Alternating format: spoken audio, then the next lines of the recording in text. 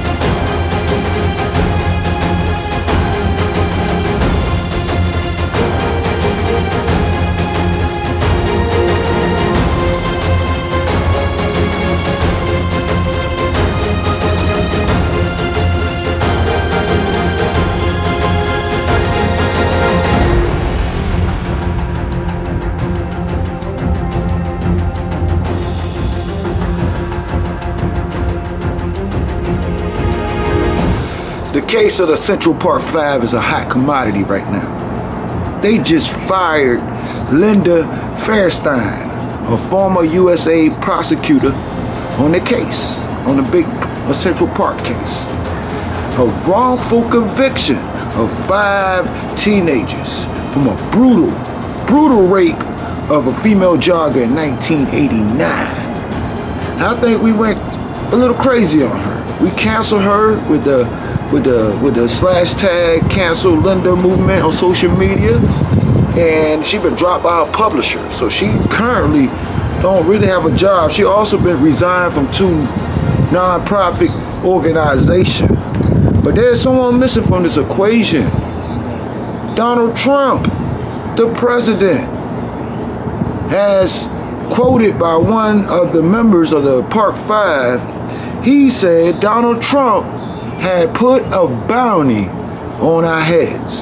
And that was true, what he was saying, because Trump bought full page ad in several of the United States newspaper calling for the death penalty of the Central Park Five. He also published the Central Park Five names, address, and their phone numbers in the newspaper calling for the death penalty. So he didn't care about their families. He didn't care about nothing.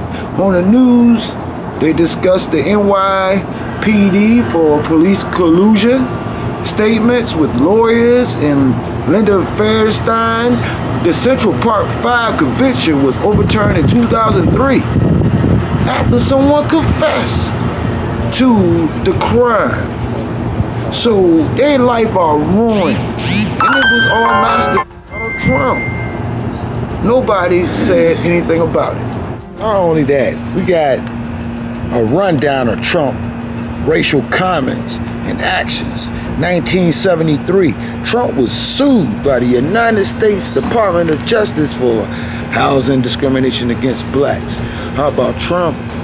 Quote, Barack Obama wasn't born in the United States and was requesting birth certificates two times.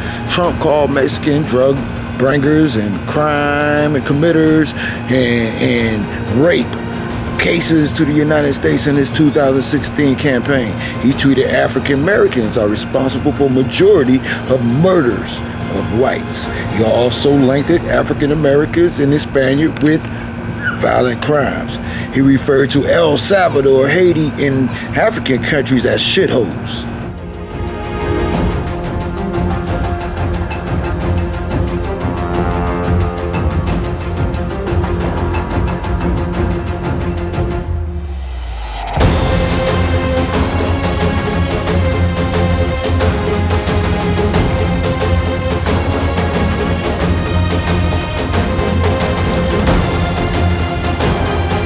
Trump's speeches have been heard and accepted by his racial buddies in Congress, Senate, and around the world. Hating all immigrants when his family, when Trump family himself is from German descent. His mother is of a Scotland descent. And also his wife is now a part of a Russian descent. Get your facts right, Trump. You are, you are an immigrant just like everybody else. Put a tariff on yourself. This has been Pollins TV. I'm wrapping this up. Let's go.